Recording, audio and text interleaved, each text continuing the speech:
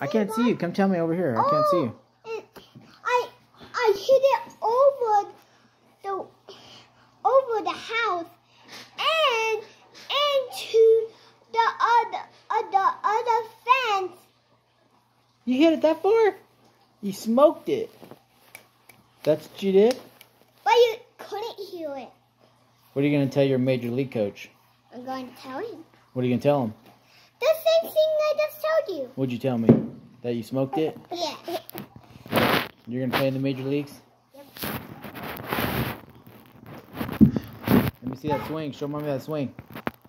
Careful with the TV. A good looking swing.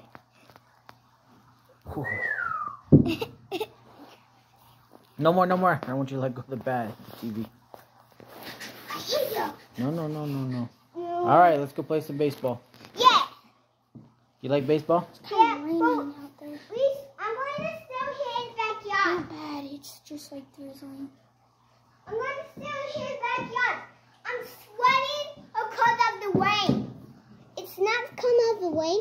It's because of the hot. And it's raining. Is it raining bad out there? Like real? It's raining. Yep, it's raining.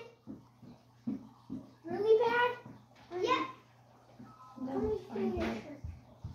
No. Okay, I'm coming.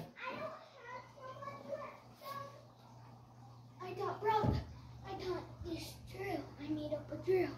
Brock can learn how to hit the baseball on the tee, and I would have grounded and run back and pin in the bucket and run all the way back. Good drill. Right in position. Good drill. Yeah, so I can start getting grounders better, and he can start learning how to hit the ball without spinning. Good drill. Hmm. Bo wanted to know if he could play softball with me today. Yeah. I know. Because they don't pitch it too fast. No, you probably could hit it. Yeah. They're trying to get me to pitch today. I don't know if I want to. Pitch. No, you can't get hurt. Oh, you can't get hurt. Mhm. I might. We'll see.